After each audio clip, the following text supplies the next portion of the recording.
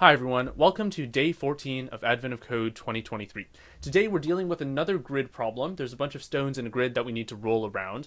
So in a moment I'm going to explain the puzzles and my approach to them. If you want to check out my code, it's going to be in the description below. The GitHub repository contains my solutions to all days of Advent of Code, so be sure to check that out.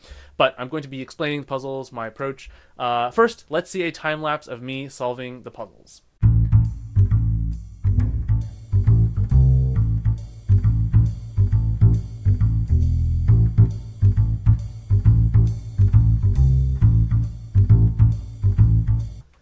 So today was not as hard as yesterday, in my opinion, but there were still uh, a few mix-ups that I had. There were some assumptions that I shouldn't have made that I did make that cost me a lot of time in debugging. So I'll go through what those are, but let's go through the puzzles. So today we are figuring out the parabolic reflector dish that the Valley of Mirrors points to. And we're doing another grid problem today, so that's really fun. We have a grid of stones some of them are cubical stones and some of them are round stones. So the cube ones are hashtags and the round ones are O's.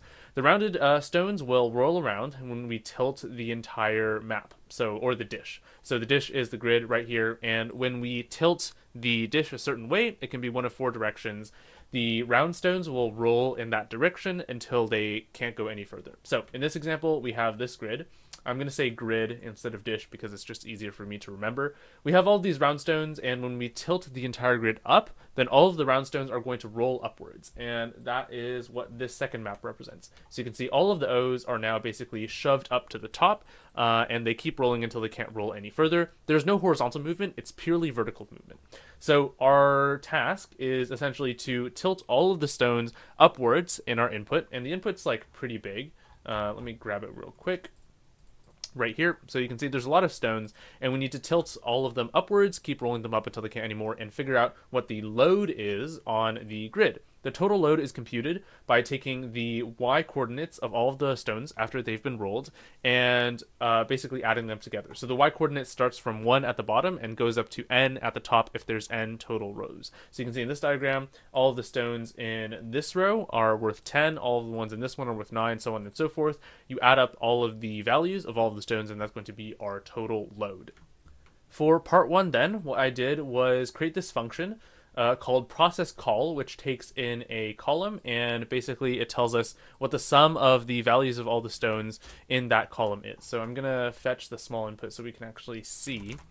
Uh, what this will do is it'll take a column, so let's say column equals zero, and it'll start at the zeroth index of this column, and it'll find contiguous stretches of open space. So open space is any space that uh, doesn't have any hashtags in it, so stuff that isn't surrounded by cubical stones. Oh, I should specify that cubical stones don't move at all, and they also block movement, which is kind of um, what we should expect from cubes. I guess they don't roll like round stones do.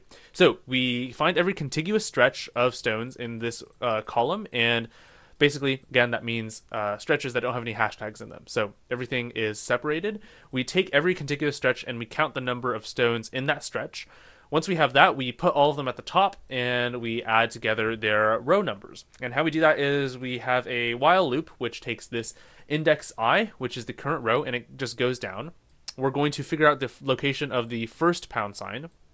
And actually, we are we are assuming that the um, just kidding. We're not making any assumptions. We're basically going down the row until uh, we hit something that's not a hashtag. So basically, we're bypassing the first stretch of hashtags, and then we're going to hit an open space, and we're going to keep counting down that open space until we hit another row of hashtags. So the first hashtag we see, we're going to stop. Once we have that, we have a contiguous block of stuff that is not hashtag, so it's all open space. And while we are iterating through that open space, we're going to count how many stones there are in there, and that's going to be stored in this variable count.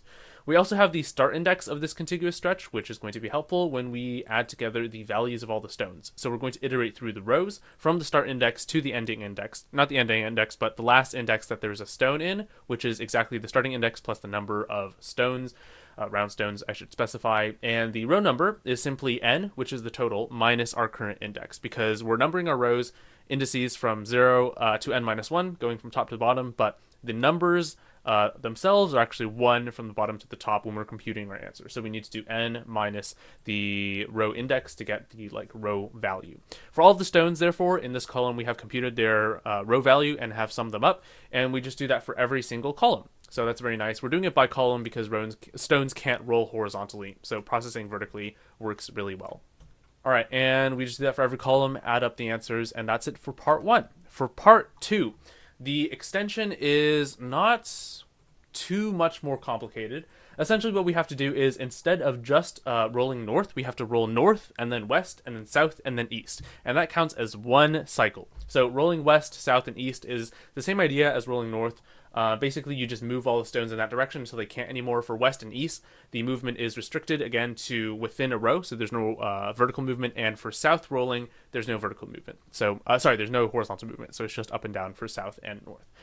Four of these movements uh, constitutes a cycle, and we have to do 10 to the power of 9 cycles. So 1 billion cycles. Later, we have to compute the load on uh, the north support beams, which is just the load of the grid. So how do we do this without taking too much time? Um, this is difficult because basically doing a billion um, iterations is going to be very costly, especially when we're running in a language like Python, which I like to use.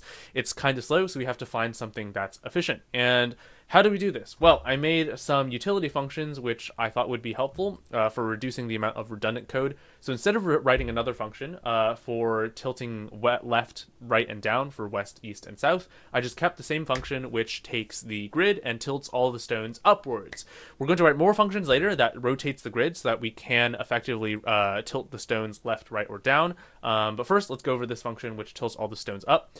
This is just a modification of what we have in part one, except instead of counting the number of stones, we have to move them all to the top. So remember this for loop, uh, or this, yes, this for loop where we basically counted uh, the row numbers and added them together. Well, we're going to replace that with another for loop, which just takes the locations of the round stones from start to start plus count, which is where the stones will roll to once they've rolled up. And we're actually going to replace those values in the input array, uh, which is called grid.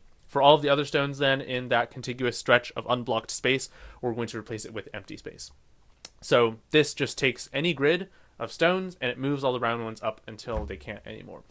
Now we have rotate functions, which are basically um, helpful for us to be able to tilt not just up, but left, right, and down as well. Uh, because what we can do is to tilt left, you basically just tilt the entire grid right, and sorry, right is this way. Tilt the entire grid right, roll up, and then re-rotate uh, the grid left.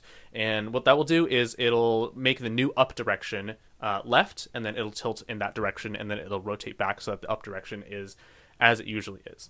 So that's what we do. Um, I'm sure there's a better way of doing this. Instead of rotating every single time we want to do left, right, or down, we could just rotate uh, four times per cycle, but this made a little bit more sense to me.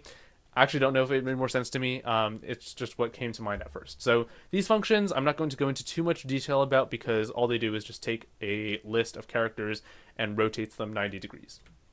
So the actual important part is this for loop over here. What we're going to do is rotate or cycle through the grid. So do this northwest, uh, southeast thing um, until we get to a state that we have seen before. And how we're going to do that is we're going to maintain the states that we've seen before. So this uh, these two dictionaries are going to respectively take in a cycle number and the grid that it represents, um, or the grid at that stage. And the second dictionary seen is going to take in a I guess, hash of the current state value and return the cycle number that it corresponds to. This is going to come in helpful, this seen dictionary, when we uh, look up our current grid and see if it's been seen before. So uh, this function do cycle just does the rotate and the tilting four times. So I'm not going to go into too much detail about that because it should be pretty intuitive. If you want to see my code, by the way, it's linked to in the description. So be sure to check that out.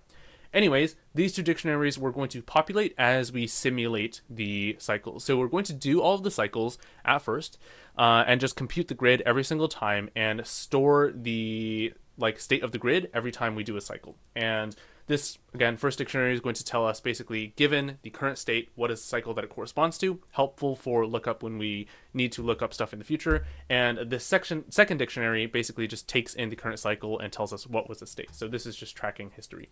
We could do this with a regular list. That might be more intuitive in terms of data structure usage, but what's done is done. So um, we have this for loop now, which goes through all the states and records a bunch of useful information.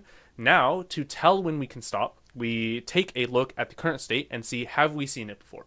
If we've seen it before, then all the stuff in the future we don't need to resimulate. We can just take what we already have and we know it's going to happen again in the future because given a singular state, if we've already seen it, like we know it's going to happen because what's going to happen is solely determined based on the current state. So if we are cycling through and we've seen something that we, we've seen before, we can compute uh, what the answer is going to be by taking a look at which of the states that we've already seen corresponds to the 1 billionth state. This requires some modular arithmetic and thinking through, um, but basically what we're going to do is we have a left and we have a right. This is the first instance of the current state, and this is the current instance of the current state. What we're going to do is take 1 billion, subtract the I guess, first instance of the state that we currently see. So we're going to shift everything back. We're going to mod the results. So 1 billion minus this first index by the period, which is like the number of steps it takes for this state to cycle, um, and then add back the original so that we have an index that we know the state of. So that's just some math. This index corresponds to the cycle, which is identical identical to the 1 billion state. So we look up uh, what state that is, so what grid that is, and compute the answer by using our handy dandy north load function, uh, which just computes the total load on the grid. Where I wasted the most time was definitely on this north load function. What I did at first was take the same code I had for part 1 and put it into a single function. Turns out you don't need anything that complicated because for part one, I was assuming that you roll all the stones north first and then compute the sum of the row values to get the load. We don't need to do that for part two. We just need to sum up the row values for all the stones as they are on the grid. We don't need to tilt anything up. So I messed up by doing that. Um, I used the code from part one that I shouldn't have reused, and that cost me a lot of time because I was getting numbers that I wasn't supposed to get. Anyways, moral of the story uh, always check your assumptions and don't reuse functions if they don't do what you want them to do. Anyhow, that's it for day 14 of Advent of Code 2023. Today I got like rank 79 on part 1, which is pretty good, but then on part 2 I got like 2000 because of that assumption. So, anyways, Thanks for watching. I appreciate your viewership. If you have any questions or comments, feel free to leave them down in the comments below. And I'll, I'll see you tomorrow for day 15. Where I wasted the most time on part 2 was definitely the north load function because all I had to do was just sum up the row values for every stone in the grid. We don't have to tilt the stones up at all. What I did at first was reuse the function I had in part 1 which computes the total load given that you rotate all like roll all the stones up first. So we don't need to do that and if you do that the answer is going to be wrong. Um, so I had to like just write a new function. It was pretty simple, but my assumption cost me a lot of time. So moral of the story is always check your assumptions and don't reuse code that doesn't do what you want to do. Anyhow, on part one today, I got rank 79, which is pretty good. And then on part two, I got like rank 2000 or something. is pretty bad um, because of the assumptions that I made. But anyhow, hope you got something from this video. Thanks for watching day 14 of Advent of Code 2023. And I'll see you tomorrow for day 15.